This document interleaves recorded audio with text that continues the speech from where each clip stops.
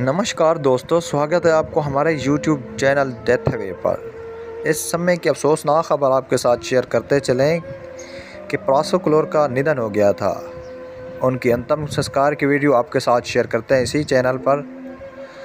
तब तक आप इस छोटे से चैनल को अगर सब्सक्राइब नहीं किया तो जल्दी से चैनल को भी सब्सक्राइब कर लें और कमेंट में ओम शांति लाजमी लिख दें ताकि दुखन की इस घड़ी में उनकी फैमिली का साथ दे सकें।